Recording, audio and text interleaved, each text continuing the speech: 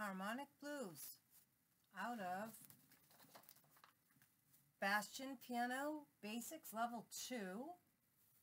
And that song can be found on page, in the beginning, sorry.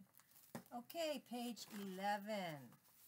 So this really gets that left hand working in a nice, even bass tone. And the right hand, you're keeping nice and smooth.